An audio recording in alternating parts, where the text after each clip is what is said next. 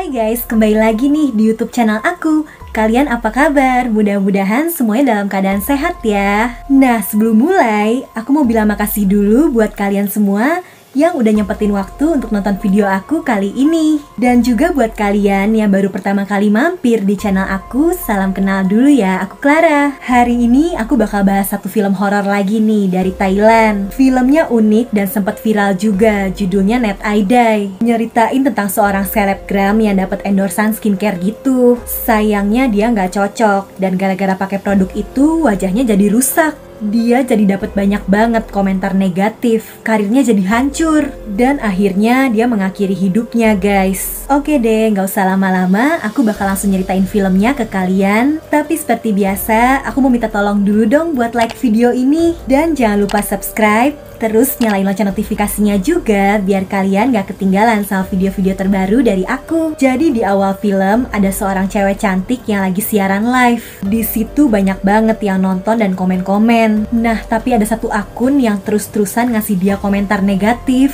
Anehnya itu tuh akun selebgram yang udah meninggal, namanya Monica. Cewek ini ngira akun Monica itu akun palsu kan dan karena terus-terusan ngasih komentar negatif, jadi mau dia blokir aja. Tapi entah kenapa akun itu nggak bisa diblok, si Monica masih bisa komen terus. Bahkan akun itu bilang kalau diblokir cewek ini bakal mati. Dan bener, lampu kamarnya tiba-tiba aja padam. Terus ada sosok nggak kelihatan yang seolah-olah mencekik cewek itu sampai akhirnya dia tewas di depan kamera. Sementara di tempat lain ada seorang cewek yang namanya Melissa dan pacarnya namanya Jack. Melisa ini jualan produk skincare guys. Dan seperti biasa dia ngupload produknya. Terus dia nge-live jualan. Tapi tiba-tiba dia kaget nih Karena ada yang ngetek dia di sebuah video.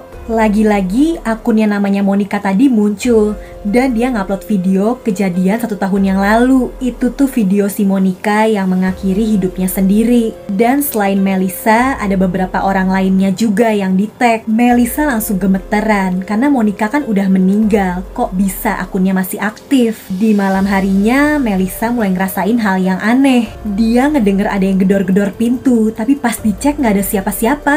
Dan ada notifikasi lagi di handphone handphonenya. Yang bikin panik, tulisannya tuh si Monica lagi ada di tempatnya itu. Pintunya juga gerak-gerak dan si Melissa makin ketakutan.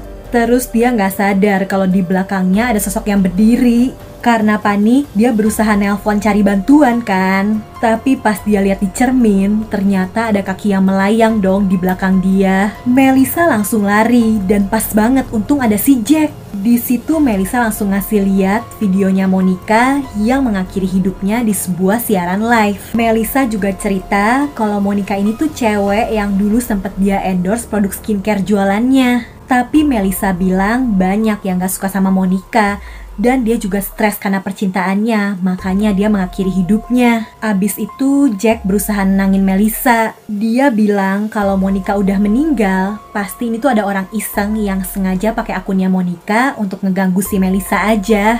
Nah, tapi di lain tempat ada seorang cewek yang baru pulang ke rumahnya. Dia tuh asistennya Melissa.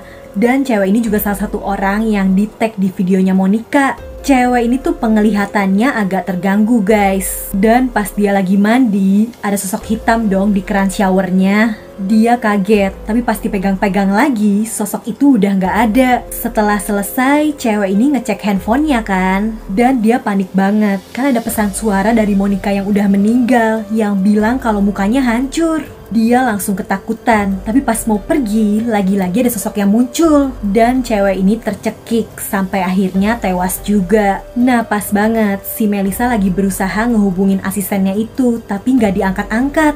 Dia makin ngerasa nggak tenang, dan akhirnya dia janjian sama satu cewek selebgram yang dulu sempet tinggal satu apartemen sama Monica. Di situ Melissa minta tolong supaya dia bisa masuk dan ngeliat apartemennya Monica. Akhirnya cewek itu ngasih kuncinya. Dan setelah Melisa pergi, kelihatan nih pas cewek ini ngambil minum, ada bayangan hantu di kulkas. Lanjut lagi guys, Melisa akhirnya datang ke apartemennya Monica, ditemenin sama pacarnya nih, si Jack.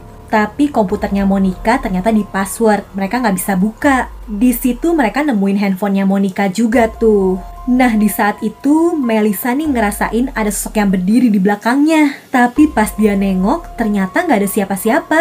Melisa tetap takut dan mau pulang aja. Dia langsung narik tangannya Jack. Tapi pas nengok si Jack ternyata masih sibuk sama komputer Ternyata yang dia tarik itu tangan hantu yang mukanya hancur guys, hantu Monica. Mereka langsung pulang dan handphone Monica juga mereka bawa, tapi masih belum bisa diapa-apain tuh. Tapi katanya Jack bakal nyari kenalannya yang bisa buka handphone itu.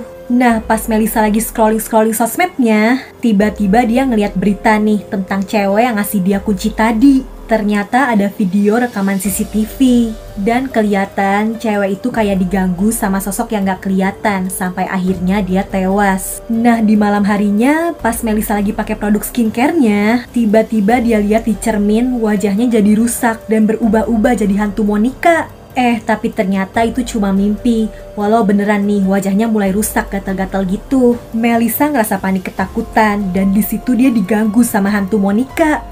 Sampai akhirnya dia terjatuh dari tangga. Untungnya nih si Melisa masih selamat, tapi kakinya patah. Dia harus pakai kursi roda. Karena kasihan pacarnya diganggu hantu terus, Jack akhirnya berusaha nyari tahu lagi dengan datang ke agensinya si Monica. Di situ dia ketemu nih sama pemilik agensi itu yang dulu biasa ngasih kerjaan ke si Monica. Tapi pas ditanya soal Monica, orang itu gemeteran dan bilang kalau dia nggak tahu apa-apa. Dia malah nyuruh Jack buat ngehubungin mantannya si Monica aja. Setelah Jack pergi, pria ini sendirian dan lagi teleponan. Muncul lagi nih sosok hantu Monica. Ngerinya mulut pria itu dirobek dong guys. Ternyata pria itu juga salah satu orang yang di tag di videonya Monica. Gak cuma dia, tapi ada juga nih dua selebgram lainnya yang di tag juga di video itu. Dan sama aja, mereka juga diganggu sama hantu Monica sampai akhirnya tewas. Sementara Jack akhirnya nyamperin mantannya si Monica nih. Tapi lagi-lagi mantannya itu juga bilang dia nggak ada urusan. Dia bilang pokoknya penyebab Monica meninggal ya karena krimnya Melissa. Nah di malam harinya si mantan ini lagi asik pesta sama pacar barunya. Terus mereka ke kamar nih dan cowok ini tuh ternyata mau ngerekam video mereka pakai handphone. Tapi tiba-tiba aja dia ngeliat muka ceweknya berubah jadi muka hantu Monica yang rusak. Cowok ini jadi panik dan lari keluar. Dan dia ngeliat seolah-olah itu hantu Monica, padahal itu tuh pacarnya. Dia diganggu bayang-bayang hantu Monica terus, sampai akhirnya cowok itu juga tewas. Lanjut, ini Jack minta Melissa sebaiknya nyeritain semuanya aja. Karena ngeri nih, semua orang yang di tag di videonya Monica udah meninggal, tinggal Melisa aja.